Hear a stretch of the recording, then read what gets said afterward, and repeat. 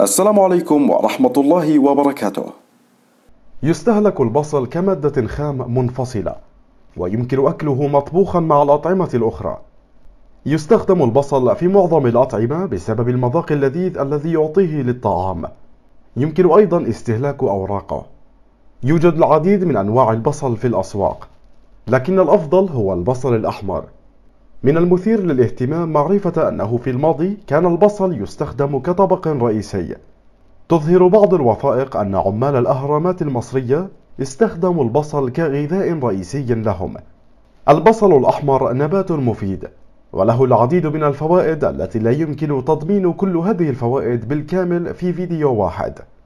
فوائد البصل الأحمر يحتوي البصل الأحمر الني على كميات جيدة من حمض الفوليك والتي يمكن أن تساعد في الوقاية من أمراض الكبد مثل مرض الكبد الدهني. بالإضافة إلى ذلك فإن مركبات الفلافونويد والكيرسيتين الموجودة في البصل الأحمر تمنع تراكم الدهون حول الكبد. بالإضافة إلى حماية الكبد من الدهون يساعد البصل الأحمر أيضا في تطهير الكبد وإزالة السموم منه. البصل الأحمر غني بثاني كبريتيد الذي ينظف الكبد ويقلل من خطر الإصابة بأمراض الكبد الشائعة. تعمل الألياف والبروبيوتيك الموجودة في البصل الأحمر على تحسين حركات الأمعاء وبالتالي تساعد في علاج الإمساك أو الإسهال. من أهم فوائد البصل الأحمر أنه يساعد في خفض نسبة السكر في الدم. في الآونة الأخيرة أجرى الخبراء تجارب على الفئران المصابة بداء السكري. والتي أظهرت نتائجها أن مستخلص البصل الأحمر يمكن أن ينظم ويخفض نسبة السكر في الدم.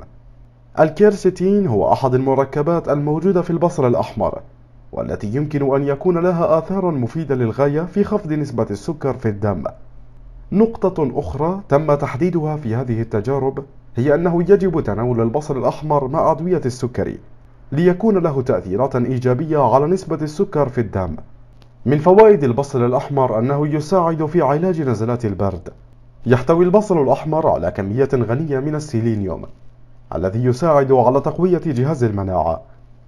لذلك فهو مفيد جدا للوقاية من نزلات البرد والإنفلونزا وعلاجها. يحتاج الشعر إلى مادة تسمى الكولاجين لينمو. يحتوي البصل الأحمر على مركبات الكبريت التي تزيد من إنتاج الكولاجين وبالتالي فهي مناسبة جدا لنمو الشعر وتقويته. وللتأثير على نمو الشعر يجب استخدام عصير البصل الأحمر كقناع. يحتوي البصل الأحمر على فيتامينات ومضادات الأكسدة المفيدة جدا لبشرة الوجه. البصل الأحمر غني بفيتامين A وفيتامين C وفيتامين E والكيرسيتين مما يؤخر عملية شيخوخة الجلد ويجعل البشرة أكثر نضارة ونضارة. أضرار البصل الأحمر يمتلك البصل الأحمر العديد من الفوائد لكن تجدر الإشارة إلى أنها ليست مناسبة للجميع.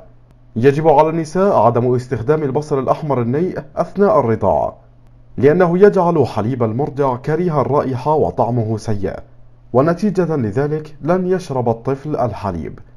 بالإضافة إلى ذلك فإن تناول البصل الأحمر أثناء الرضاعة الطبيعية يمكن أن يسبب الانتفاخ. مشاهدينا الكرام هذا كان كل ما لدينا اليوم. شكرا لكم على المشاهدة وإلى اللقاء. والسلام عليكم ورحمة الله وبركاته.